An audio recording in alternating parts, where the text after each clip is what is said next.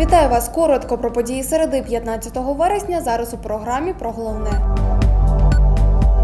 Патрульні Борисполя за допомогою спеціальної системи рубіж, яка виявляє крадені авто, затримали транспортний засіб, на якому були викрадені номерні знаки на розі вулиць Київський шлях Френкеля. Під час перевірки документів інспектори виявили ознаки підробки техпаспорту. Водія та авто доставили до відділу поліції для проведення слідчих дій. Сьогодні в актовій залі навчально-виховного комплексу Гімназія Перспектива відбулись інтелектуальні ігри між дітьми та їхніми батьками. Протягом кількох років цей захід став традиційним, який проводить Асоціація учнівського самоврядування. Розинкою цього року були нові правила, де питання та відповіді у раундах звучали англійською мовою.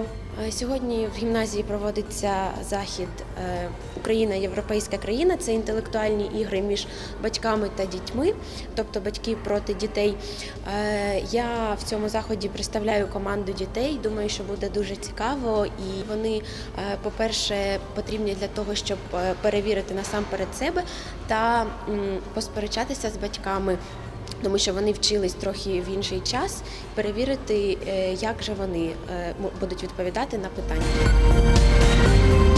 Сьогодні відбулася презентація третього випуску альманаху Бориспільський край, де вмістили свої твори митці Бориспільщини. На презентації були присутні майже всі автори альманаху. На сторінках Бориспільського краю містяться поезії, прози та історії нашого міста. А родзинкою видання є окремий розділ, де зображено картини. Презентацію відвідали наші журналісти. Тож деталі очікуйте незабаром.